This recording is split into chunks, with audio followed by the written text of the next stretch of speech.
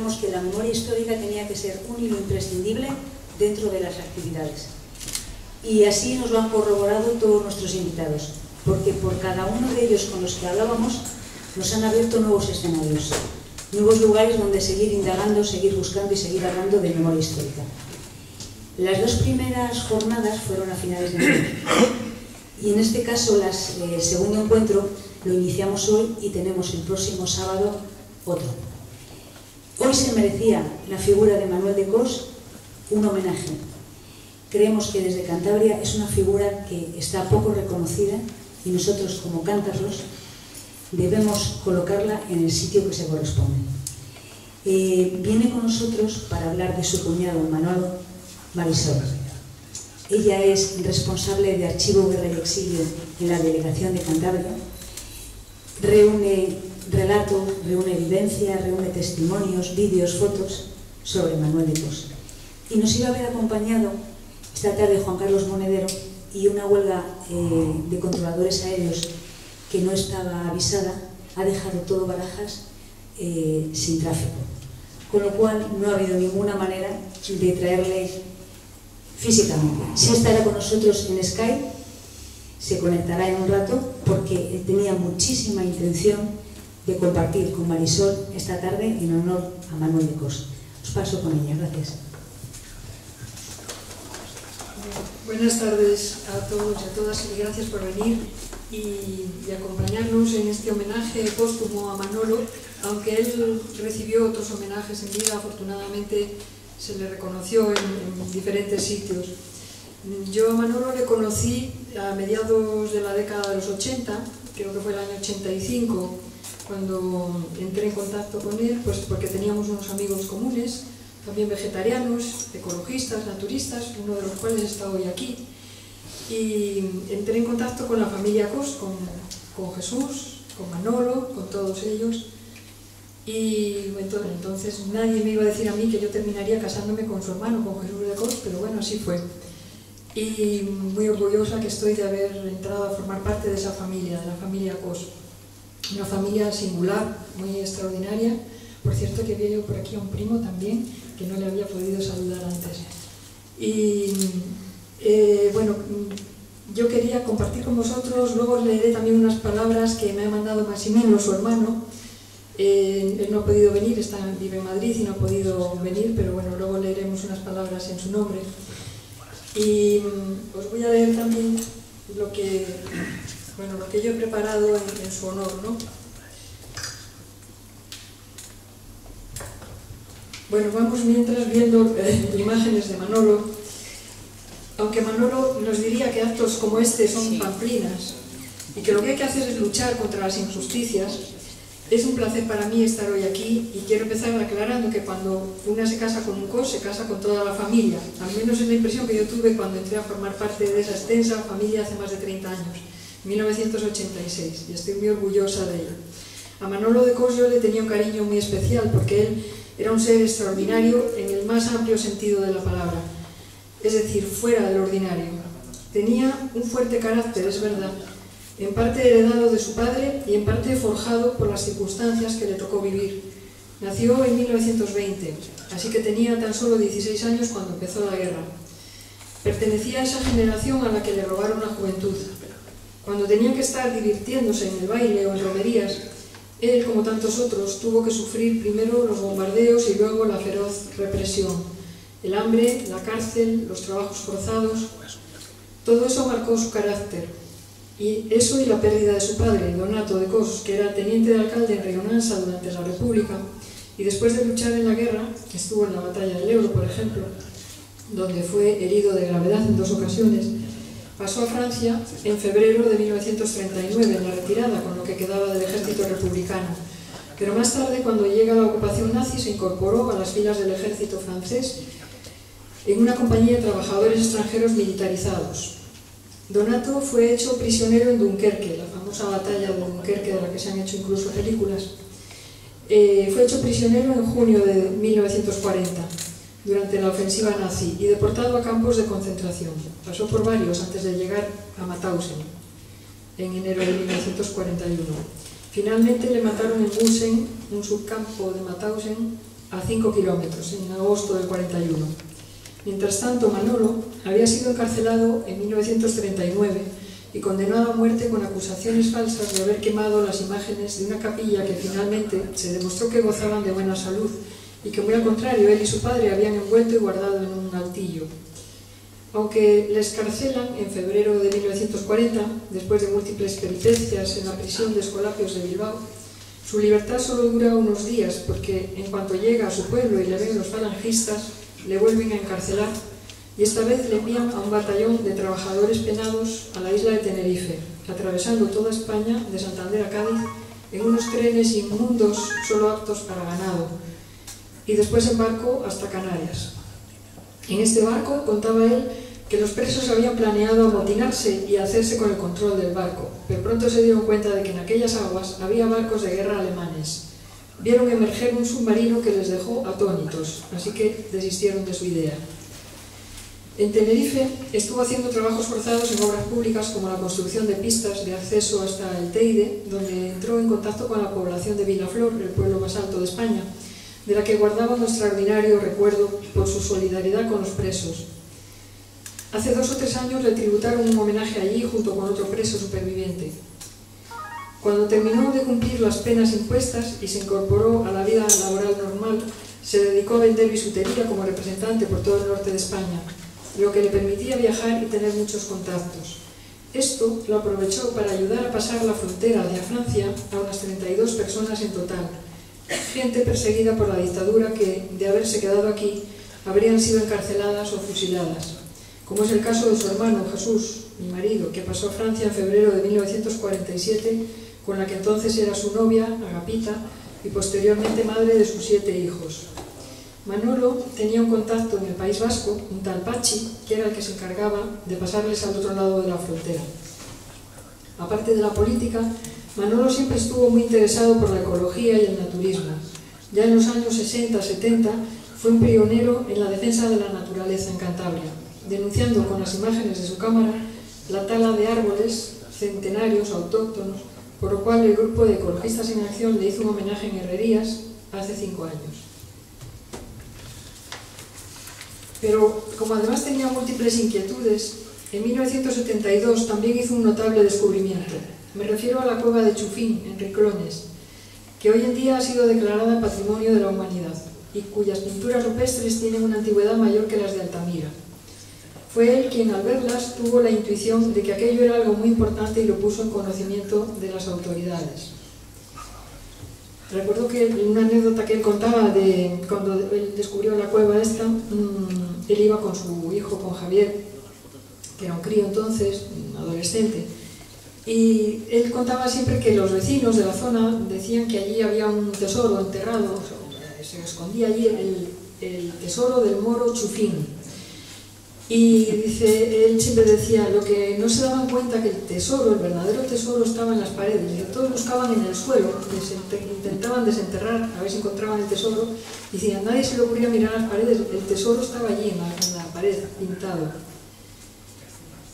Como a nivel provincial no demostraron ningún interés, se lo comunicó en Madrid al director del Museo Arqueológico Nacional, el profesor Martín Almagro, catedrático de universidad y comisario general de excavaciones arqueológicas, quien se desplazó hasta Chufín y certificó la importancia del descubrimiento, por lo que Manolo fue nombrado guía de la citada cueva, como marcaba la ley. Sin embargo, en 1977 es cesado como guarda, alegando que no tenía bien atendida su obligación. Él siempre sostuvo que fue una represalia política por haber participado activamente en la campaña electoral de ese año a favor del PCE. Manolo era una persona que mentalmente era joven, de ideas innovadoras, siempre estaba rodeado de gente más joven. igual que su hermano Jesús. Les preocupaba el futuro tanto más que difundir la memoria de lo ocurrido en el pasado. Pero no como un recuerdo nostálgico de otros tiempos, al contrario, seguían luchando por un mundo mejor y contra las injusticias que veían. Eso fue lo que le llevó a Manolo a entusiasmarse con el movimiento del 15M y a hacer cientos de fotos allí, una vez más porque consideraba que estaba viviendo un momento histórico. Estaba al tanto de todo, no se le escapaba nada. Él, que durante años ha hecho miles de fotos y vídeos, siempre se quejaba del poco interés que demostraban las autoridades cántabras por su obra y de los obstáculos y cortapisas que siempre le pusieron. Hay que reconocer que él tampoco lo ponía fácil. No se puede decir que fuera muy diplomático, porque solía añadir comentarios como pie de foto en los que no salían bien paradas las mismas autoridades a las que pretendía vender las fotos. Hablo de Revilla y compañía, por ejemplo. A pesar de todo, a lo largo de estos años fue vendiendo lotes de miles de fotos, en una ocasión a la Fundación Botín, en otra a la Consejería de Cultura, y finalmente, cuando el año pasado ya decidió venirse a Cantabria a completar su ciclo vital, liquidó todo el material que le quedaba en Madrid. Lo de Madrid fue para la Biblioteca Nacional y lo de Cantabria para la Consejería de Educación y Cultura. Y ya para finalizar, creo que con estas palabras suyas se resume su espíritu y forma de ver el mundo. Lo mío es dar, aportar, contribuir, colaborar, no callar, estar activo, no permanecer indiferente. Soy uno más de los muchos protagonistas que hay en el mundo que sienten el dolor ajeno y se atreven a denunciarlo. Y como soy consciente de que me tambaleo en la cuesta de los 90, me siento insatisfecho por lo mucho que me queda por hacer. Gracias.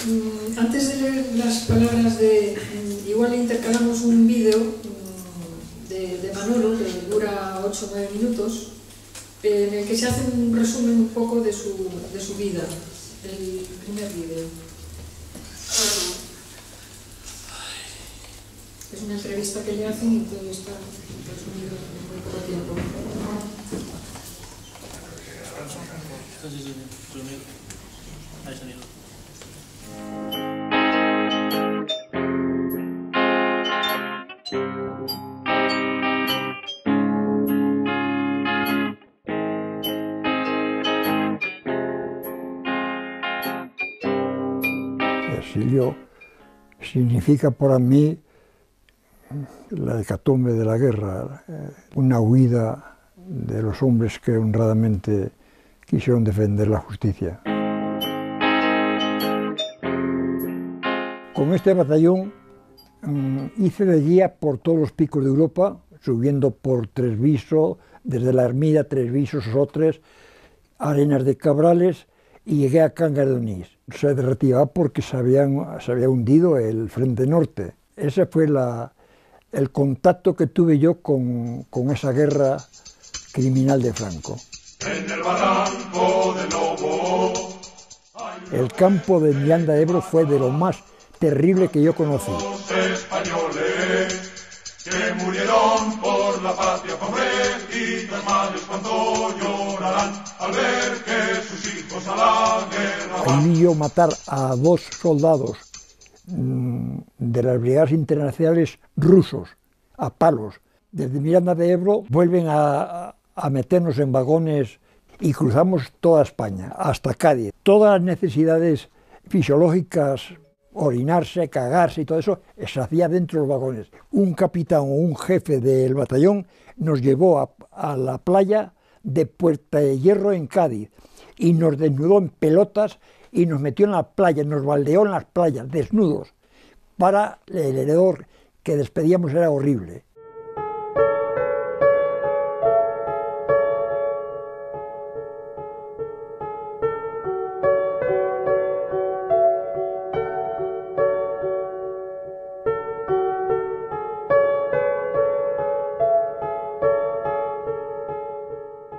la carretera que une Vilaflor, Pico del Teudo, a Granadilla, bajando por Vilaflor, que es el pueblo más alto de, España, pues hicimos esa carretera.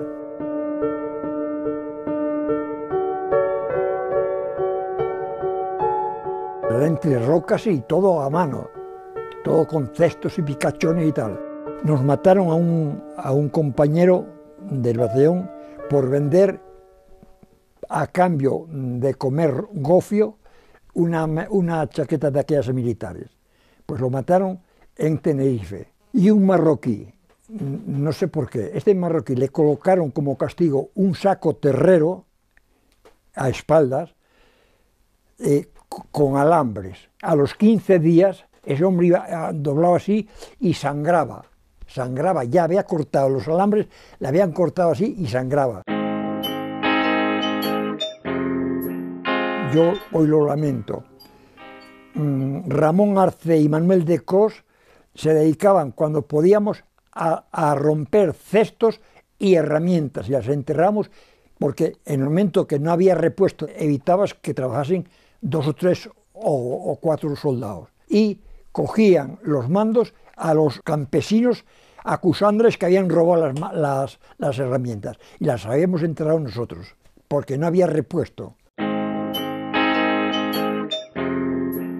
Entramos en contacto con los vecinos de Vilaflor y huían de nosotros porque les habían contado que los rojos tenían cuernos y rabos y todo eso. Y cuando entraron en contacto nos abrieron las casas, nos abrieron los brazos, conseguí una cámara en Vilaflor por, por una familia de aquellas. Era muy simple, no tenía más que mm, una, una que decía sol y sombra. Con aquella cámara fotografiaba grupos de trabajadores para mandarlos a familia y había un sargento que nos apoyaba también mucho y, participaba también en, en, la fotografía. Pero también él tenía que tener mucho cuidado si había jefes a la vista. Parece que en la escalera mm, de las torturas de la cantera de Mauthausen se reveló en una de las escaleras.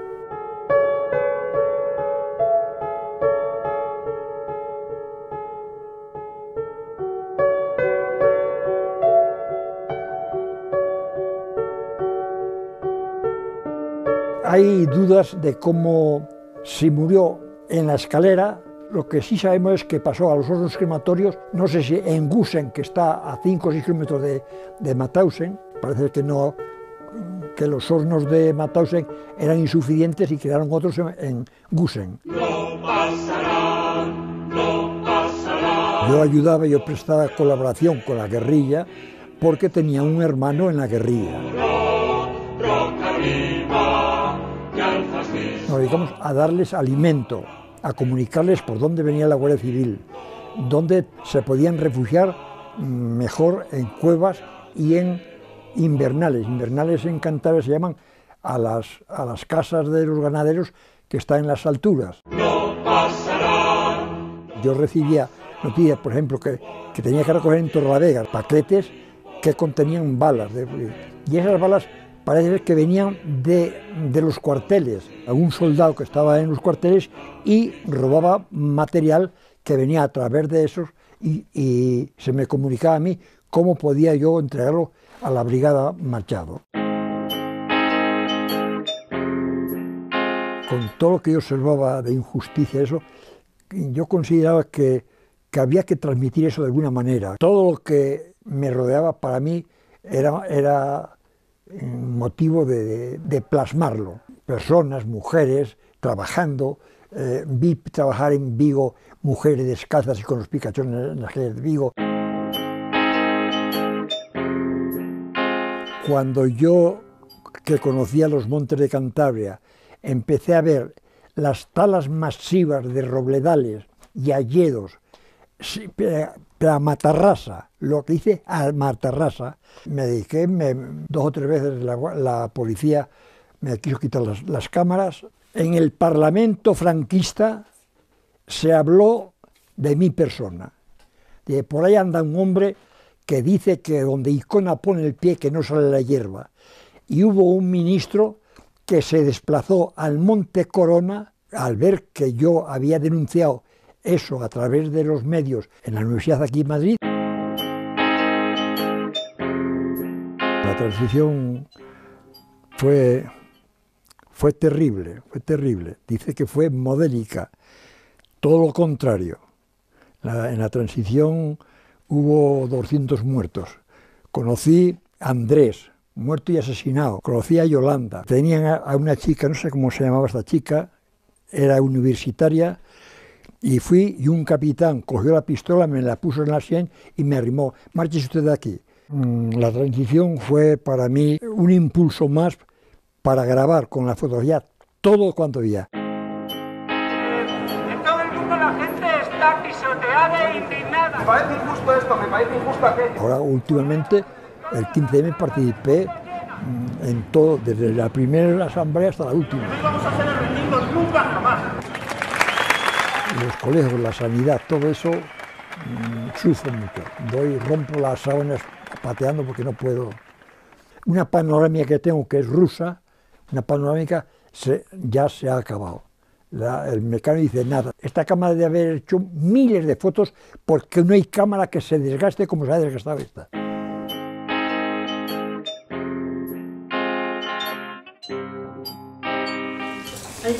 Esas cámaras de Manolo las tiene ahora su nieto, que afortunadamente sigue la tradición familiar y es fotógrafo, se dedica profesionalmente a ello. Voy a leeros ahora el, las palabras que nos manda Maximino, su hermano. Camaradas, amigos y paisanos, salud. Como último baluarte de la familia de Cosborboya, con mis 96 años y las fuerzas disminuidas, siento no poder acudir a ese póstumo homenaje que a mi hermano queréis hacerle, y por ello os envío un millón de gracias. Con estas líneas y mi corazón latiendo a todo ritmo, me uno a todos vosotros para recordarlo, y yo en particular por las horas, días y años que pasé a su lado. Primero en el pueblo de Riclones, donde sigue en pie la casa con el corredor de retorcidos hierros donde convivimos nuestra primera niñez, y donde ya comenzaba a imponer su ley, que por ser mayor, las tradiciones y costumbres le otorgaban. Toda su trayectoria está plagada de aquel genio y figura que siempre demostró. Tuvimos unos progenitores que en el Valle del Nansa nos habían enseñado a convivir y respetar a todos los seres humanos aunque pensaran diferente, y así lo demostró en todos sus actos. Fueron muy duras y desagradables las horas y días que pasó en su juventud, la cárcel, la condena a muerte, el pico y la pala haciendo carreteras en las laderas del Teide, el Valle de la Rotava, y todo ello lo superó. Quizás también tuvo su influencia que se había criado con torta y leche, ya sabéis que la torta de maíz dicen que tiene mucho calcio y muy bueno para los huesos. Su lucha, su lucha, lucha por las calles y plazas de Madrid con su cámara de fotos al hombro, muchos de vosotros ya la conocéis, porque allí dejó constancia de su tesón impartiendo ideas y esperanza a las nuevas generaciones. Y son tantas las fechas y actuaciones en las que tomó parte que necesitaríamos mucho tiempo para recordarlas. Tu, le, tu, lema se encerraba en aquellas tres letras que de muy joven habías escuchado, UHP, Uníos, hermanos proletarios, y en tu mente se quedaron grabadas y por ello las convertiste en tu seña de identidad. Sí, camaradas y amigos, se le conoció como un comunista convencido, pero nadie podrá tacharle ni recordarle como corrupto, ladrón, criminal, cacique o lacayo. Tenía las ideas muy claras, como se debía vivir en democracia. En esta Cantabria donde había nacido pasó el mayor tiempo de su vejez y dejó bien patente cómo él entendía la convivencia humana que era uniendo y respetando las viejas costumbres y tradiciones. El soplau y chufín fueron dos descubrimientos que él personalmente dio a conocer para que hoy el mundo se deleite admirando las maravillas que la naturaleza nos guarda en sus entrañas. Cantabria, esta tierra que tanto amaba y por la que luchó defendiendo su riqueza en todos los órdenes, está en deuda con él y también con los que formábamos parte de aquella familia unida y honrada en el Valle del Nansa.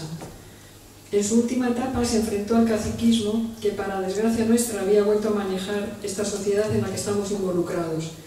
Fueron muchos los desprecios, los desplantes e incomprensiones, pero él lo tenía muy claro, no se doblegó por nada ni nadie, y murió como un héroe más de tantos montañeses o cántabros que con su honradez, su idiosincrasia, su humanidad y su sangre han dejado marcado el camino correcto por donde todo ser humano debía caminar.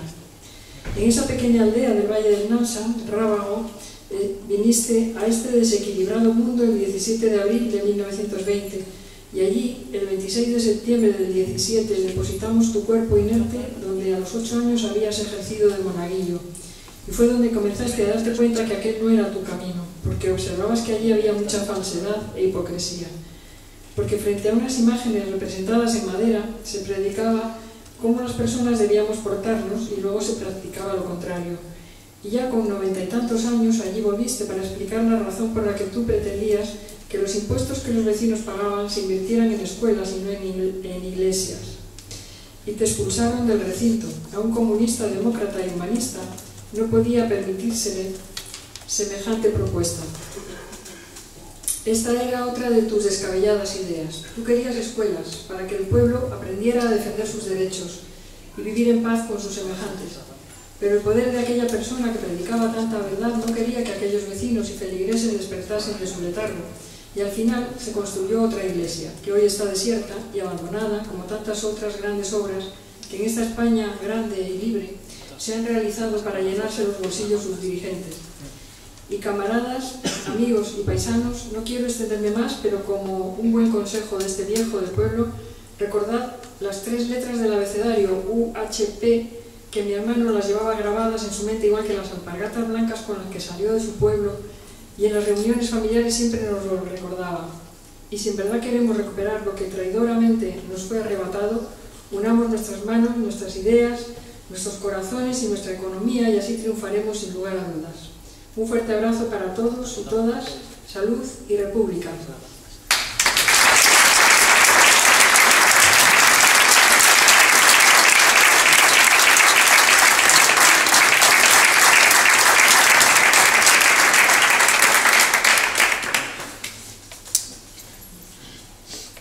Esta foto que vemos aquí foi o ano pasado que me encontré con, con Juan Carlos Monedero en Madrid, perdón, me encontré en Matausen. Eh, bueno, es que van pasando las fotos. Esto otros en, cuando inauguraron la de la 9. Pero yo a Juan Carlos Monedero le conocí personalmente el año pasado, eh, coincidimos en Matausen. Y recuerdo que mm, le espeté así, de pronto, le digo, ¿para cuándo el reconocimiento jurídico de las víctimas del franquismo? Y me dice, cuando estemos en el gobierno. Y yo muy escéptica, le dije, ya, pero eso lo decís todos, digo, aquí matamos en todos decir muy buenas palabras. Digo, recuerdo hace dos años que estuvo aquí el ministro Margallo, el ministro de Asuntos Exteriores, dando un discurso fenomenal de, demócrata de toda la vida. Y a los dos días de aquello, justo dos días después de estar en Mauthausen en el Parlamento de, Parlamento de la Nación, había una votación por las víctimas, por el reconocimiento de las víctimas, y todo el PP votó en contra. Después de aquellas maravillosas palabras que había dicho allí, de del sufrimiento de las víctimas y tal. Y, bueno, desde entonces no vuelto a ver a Juan Carlos Monedero, me hubiera encantado verle hoy aquí en persona, pero bueno, lo tenemos en, pantalla a través de Skype, para algo tienen que servir las tecnologías. Buenas tardes, Juan Carlos. Hola, ¿cómo estáis? No sé si me oís. Sí. ¿Me oís? Qué bueno. Va, mi, mi abuelo, haciendo unas fotos, ¿no? En las manifestaciones de los pensionistas. ahí están las mujeres en la calle. Quién es el único partido que ha apoyado el a los pensionistas, que apoyó desde el comienzo la búsqueda de las mujeres, que es el partido que está más cerca de los estudiantes. antes yo estuve aquí en la Ganesa en Madrid, ¿con qué? Con 300 cabales crisis.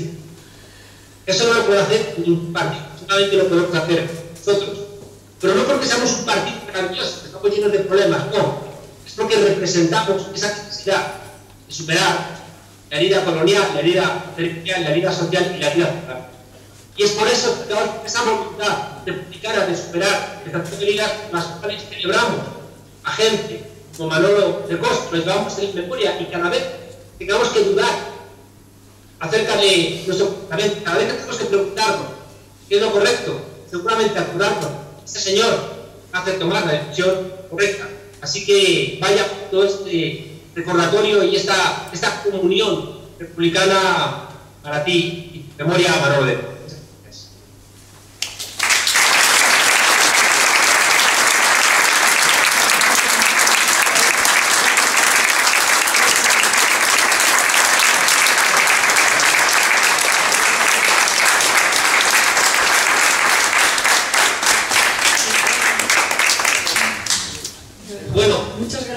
Juan Carlos, pero yo creo que nos debes una visita a Santander porque el sonido no era todo lo perfecto que hubiéramos deseado. Bueno, os la prometo. Gracias. Aunque sea en bicicleta. Hasta pronto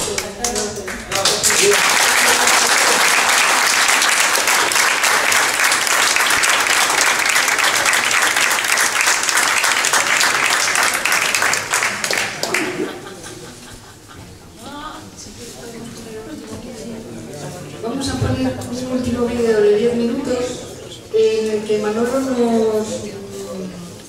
lo que él nos diría ahora en este homenaje, porque él otro en el 2013 en Madrid y, bueno, vais a ver lo que él pensaba de los homenajes, ya sabéis que era refractario a estas cosas. Así que bueno, vamos a ver 10 minutos nada más.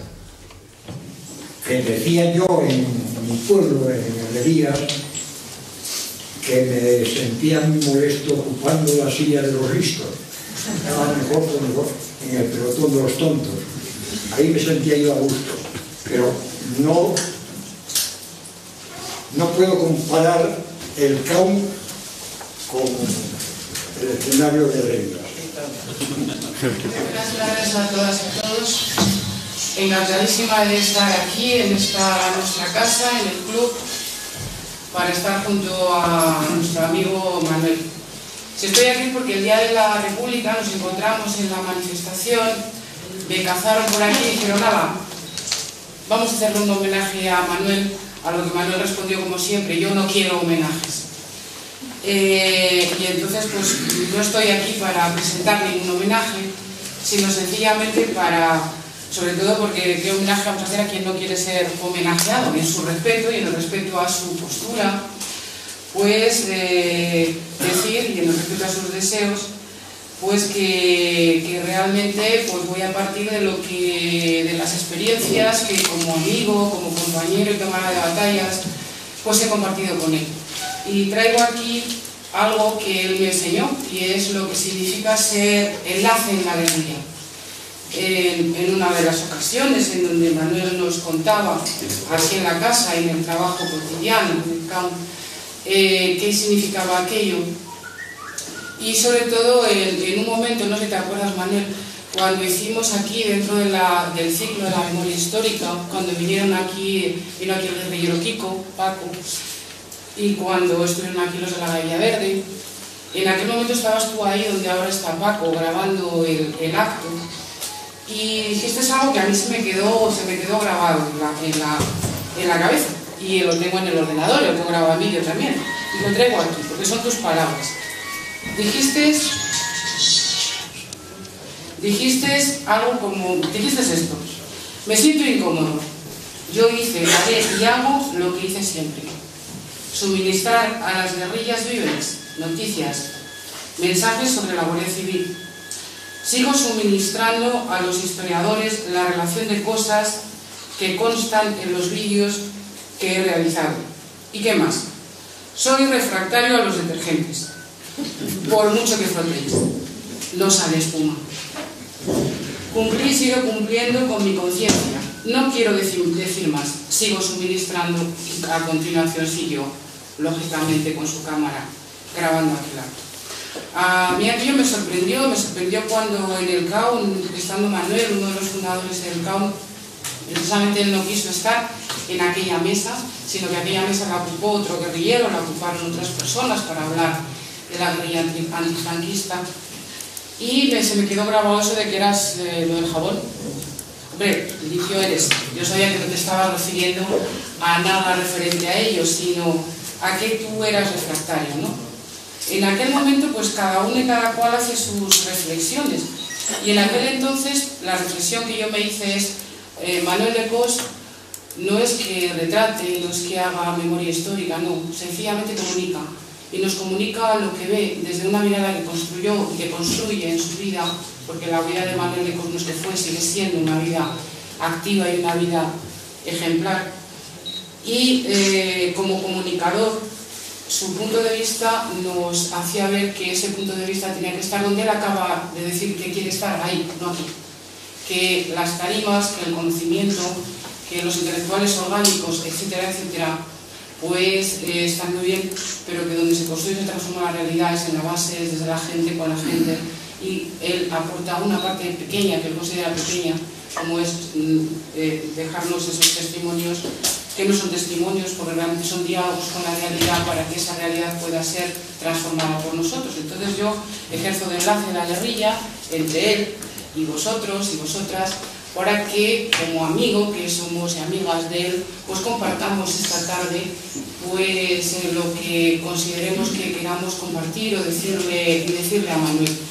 Yo recuerdo aquello con mucho amor y cariño, al igual que cuando preparamos la exposición de los 40 años de celebración de esta casa, en donde eh, estábamos trabajando en la memoria histórica y de pronto parecía que el caos no tenía historia, ¿verdad?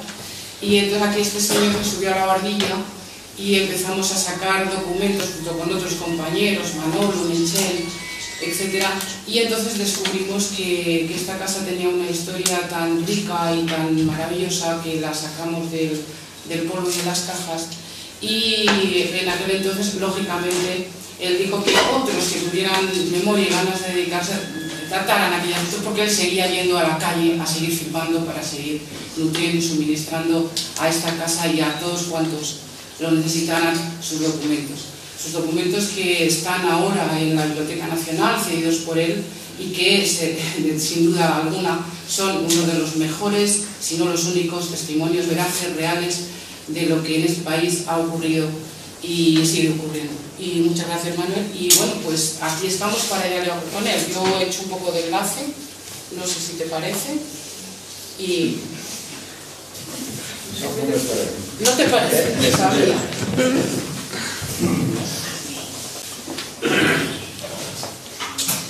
Lo que el homenaje que intentan hacer el Cuba Amigo de la UNESCO yo puse unas condiciones para yo asistir a este homenaje, que tenía que estar en esta mesa la, la víctima Lola, que quedó ciega con una bomba que nos colocaron en este.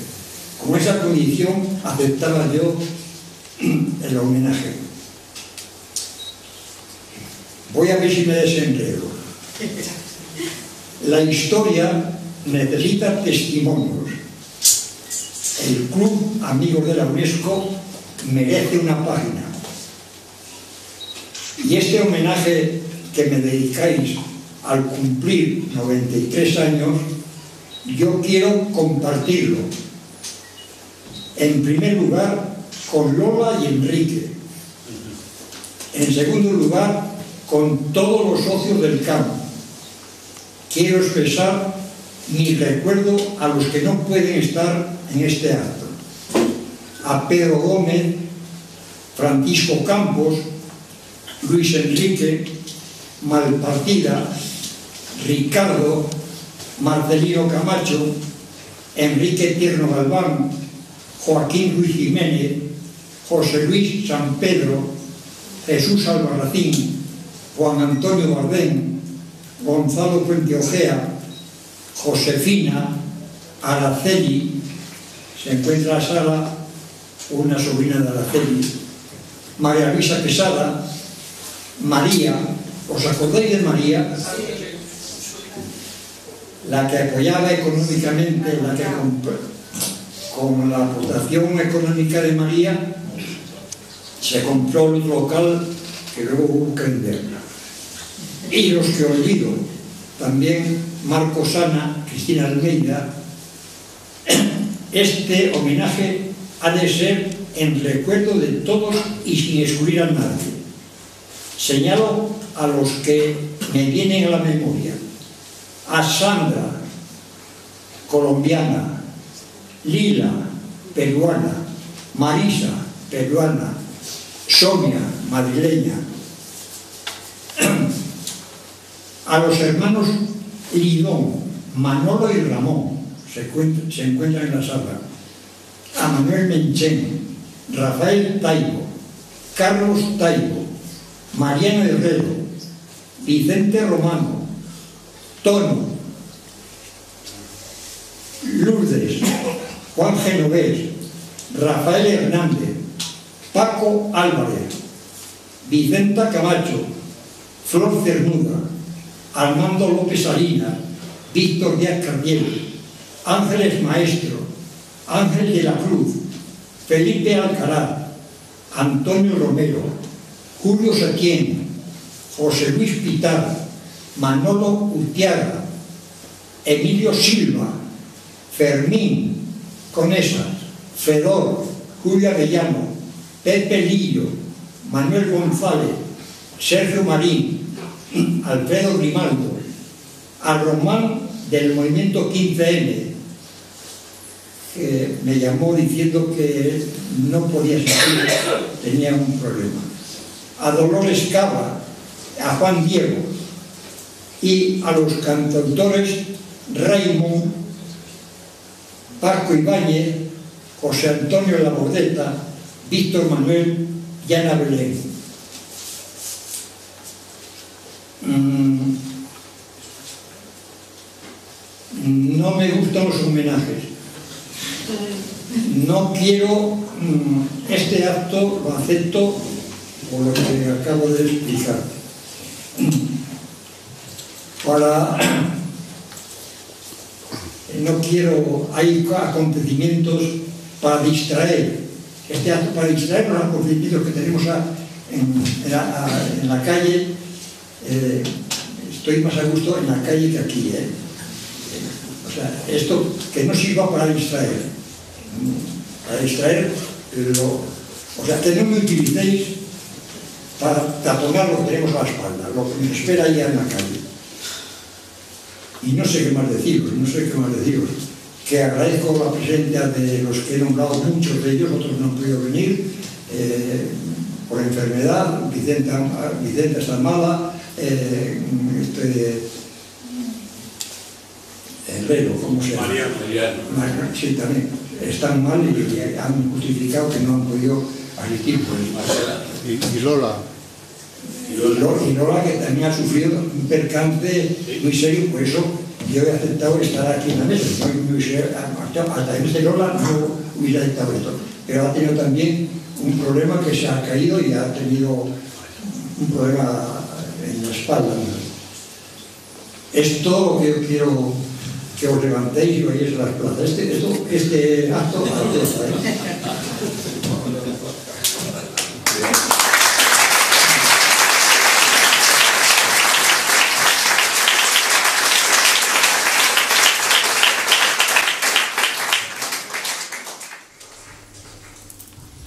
Bueno, pues efectivamente, como Manolo decía, mm, que hay que hacer es seguir su ejemplo y, él, ha sido un ejemplo para todos nosotros y lo que hay que recuperar es eh, la memoria de, su vida, de sus hechos y, continuar, continuar en la lucha, seguir en la brecha y no decaer como hizo él hasta los últimos días de su vida.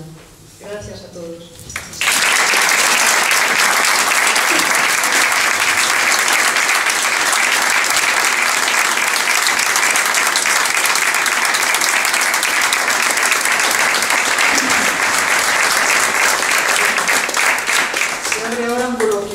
el que quiera plantear o comentar alguna cosa, tengo un micrófono aquí.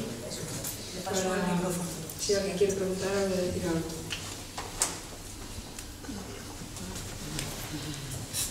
A ver si alguien se anima. Lo he dejado todo claro. Debe ser eso, que está todo muy claro. ¿Lo quieres decir algo, No. Bueno. Pues agradecerte muchísimo que hayas venido, Marisol. Ha sido un placer. Encantado de haber podido hacer algo por Manuel de Cos y esperamos contar con tu apoyo y con todas las cosas y actividades que estás realizando para la memoria histórica. Muchas gracias.